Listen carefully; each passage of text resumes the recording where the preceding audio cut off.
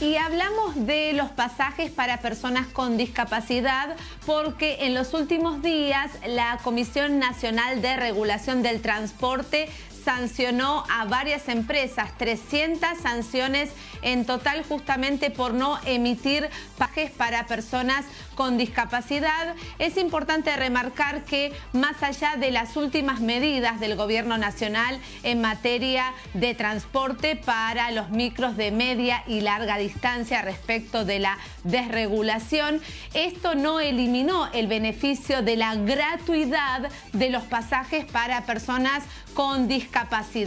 Así que para todos aquellos que se encuentren con esta dificultad a la hora de querer viajar y querer conseguir justamente un pasaje, vamos a darles algunas vías para que puedan hacer el, reclamo. Pueden denunciar a través de la web argentina.gov.ar barra transporte barra CNRT o bien al 0800 333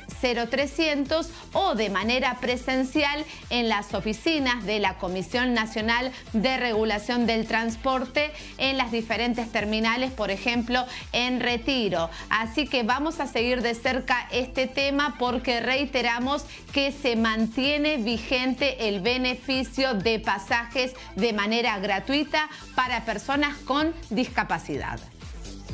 Y